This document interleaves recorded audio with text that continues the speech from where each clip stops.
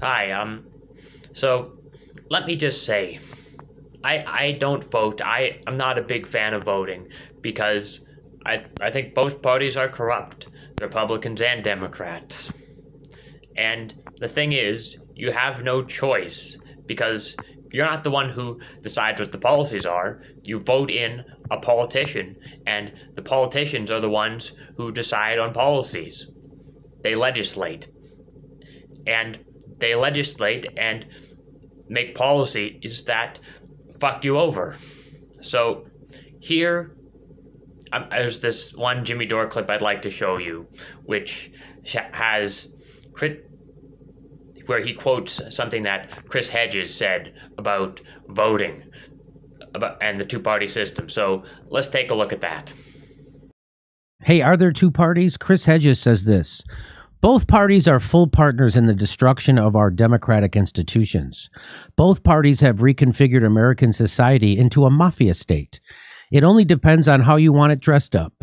The power of politicians such as Nancy Pelosi, Chuck Schumer, and Mitch McConnell comes from being able to funnel corporate money to anointed candidates.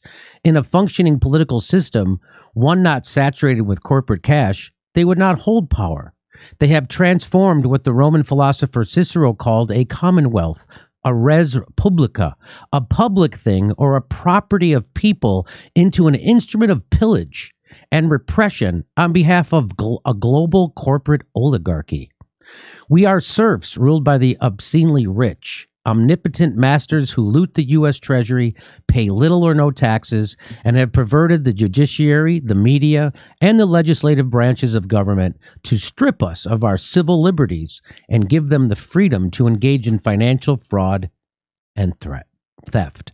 So let me just, I'm reading that because I had a conversation with a close friend of mine today, and he uh, is super smart, wicked funny, and uh, is convinced that there's a difference between the Democrats and Republicans, not realizing that he's being propagandized and manipulated. That's exactly why Bernie Sanders and the squad are allowed to become Democrats or, in the Democratic Party is so that you think someone in the in, in government is actually fighting for you, so you don't give up hope and start a third party, and you keep voting for one of the two corporate-owned pro-war, anti-worker, pro-Wall Street parties.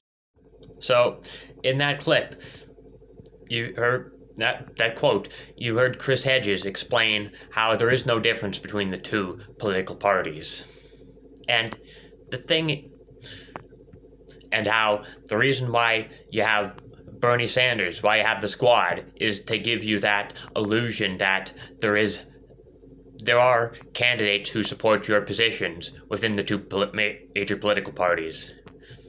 And the thing is, even if there was an ideal candidate for someone like me, I'm a leftist. I support Medicare for all. I support free college tuition. I support a living wage. I support ending the wars. Even if there was an ideal candidate for someone like me, I would still think that voting is stupid. Because the, the problem with voting is that you have people who are uninformed about policies who just who just check a box every four years and they don't even know why they're voting for the people they voted for. They vote for them based on their appearance rather than their actual policies, for example. And it's not the voters who decide on policies, it's the politicians. The politicians are the one who make legislation and pass certain policies. And they pass policies that are bad for the population as a whole.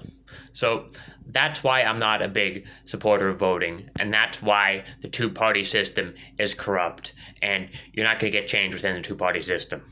Anyway, there you have it.